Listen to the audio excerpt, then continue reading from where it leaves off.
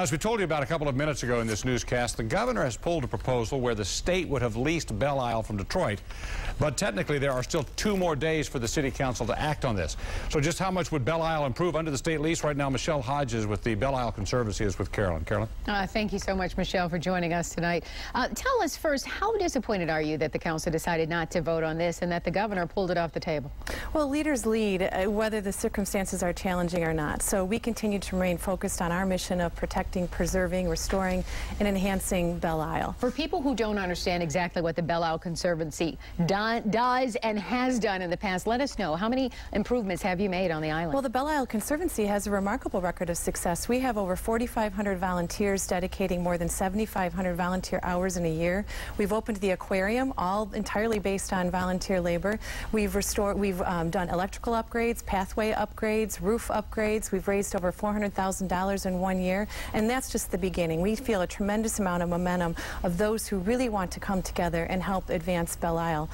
We did a user survey uh, using the Project for Public Spaces, and they were overwhelmed at the data that they got back and said there are parks around the country that would die for the type of level of support that we have. So it's our job to harness that, and that's not going to go away. So what kind of comments do you hear from Detroiters? I mean, is this a Detroit thing versus a state thing? We heard so many people speak out at council meetings. In fact, one lady was saying yesterday, well, if, if Detroit were um, still an all-white city, maybe the state wouldn't try and take it over. I mean, when you hear comments like that, are you disappointed or how do you feel? Well, certainly as I was contemplating my own remarks for the hearings, uh, it, it, was it was simple to want to rely on data. But I, I started thinking, I thought, it, it really isn't about the data. That case is easy to be made. It gets down to trust. And at some point, we as a community have to begin trusting one another. And we need to do that with baby steps. And using documents like a lease that are very well put together, we can protect our interests and, and, and get to a more trusting mode. Okay, Stephen, let's turn it over to you because I know a lot of people are talking about this on social media as well. Yeah, a lot of people, uh, most of the tweets and the Facebook comments uh, reflect disgust and disappointment with the council over this uh, particular uh, non-decision today not to vote.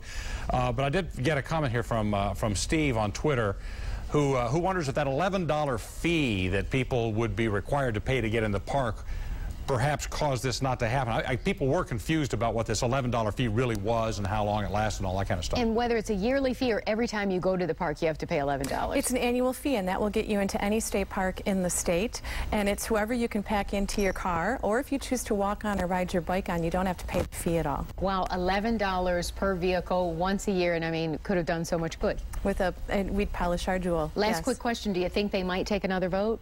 I, at this point, I would say no. Uh, so we're staying focused on the long-term solutions and, and helping the legacy of Frederick Law Olmsted to live on. And moving forward. Thank yes. you so much, Michelle Hodges, for joining us tonight. Stephen.